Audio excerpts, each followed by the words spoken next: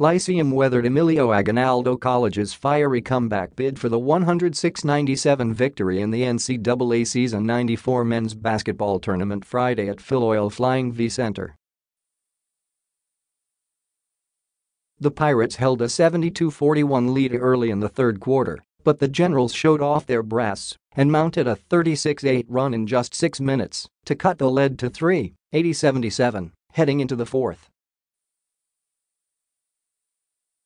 Jaycee Marcelino, though, willed the Pirates back at the start of the fourth hitting a three-pointer for the 86-79 lead. And despite losing Mike Nzeusseu to fouls at the 7-19 mark of the fourth, Marcelino was once again crucial for Lyceum giving the Pirates a 93-83 lead off a scoop layup with 6.36 left in the game. As a coach, sometimes you have to bite your lip and trust your players that they will find a way, said Pirates head coach Topex Robinson as his team improved to 2-0. You have to be really calm and collected so the players don't sense that you're worried. And as the Pirates regained momentum in the fourth, the Generals subsequently flustered.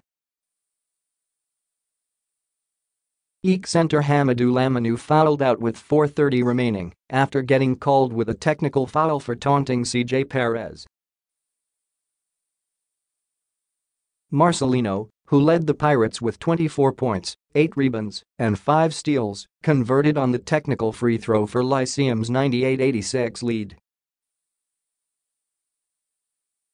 Perez had 20 points, 5 boards, and 6 steals for the Pirates, while Ralph Tansingco and Jayvee Marcelino combined for 21 points. Laminou had 34 points, 16 rebounds, and 4 blocks before fouling out for EAC which dropped to 0-2, while Jerome Garcia had 20 points,